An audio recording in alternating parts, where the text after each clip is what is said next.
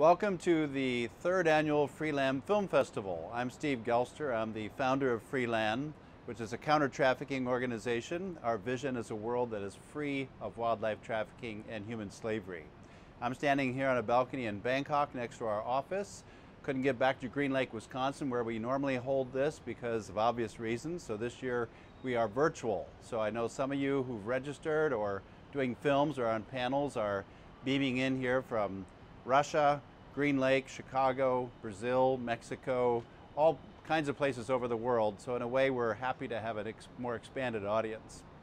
Uh, 2020 has been a hell of a year. We've had COVID-19, we've had racial tensions. We believe these issues are also related to trafficking. COVID-19 obviously related to wildlife trade, racial tensions arguably linked to uh, historical uh, trafficking issues that have never been resolved about human slavery. So we really put this film festival together every year for these issues related to trafficking to be discussed.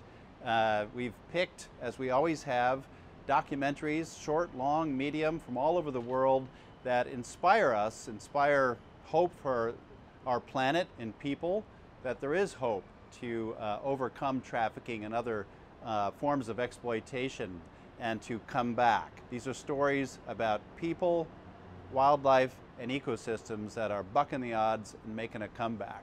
So we hope that you will uh, enjoy these stories, stick around for the panels as well, and I hope that we will all find out that um, compassion is also infectious and that we can all work together based on these stories and come up with solutions. So please enjoy the show. Thank you.